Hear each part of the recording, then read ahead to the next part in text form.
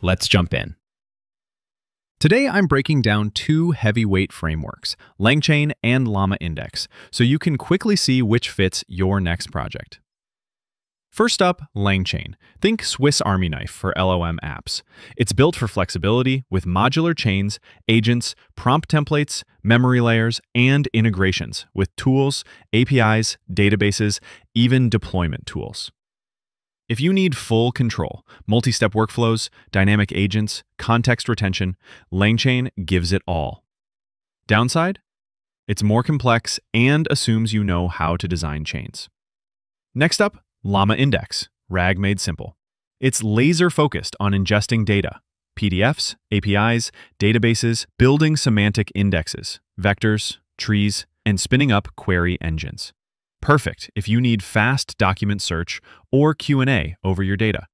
It's easy to learn and optimized for retrieval workloads, but it's less flexible for building complex interactions.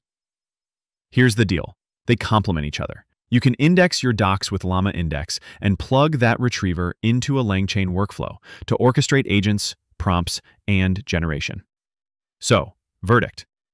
Choose LlamaIndex if you want quick, clean RAG, no headaches.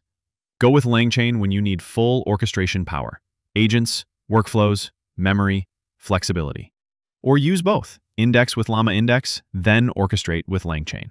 That's it. Match the tool to the task and build smarter.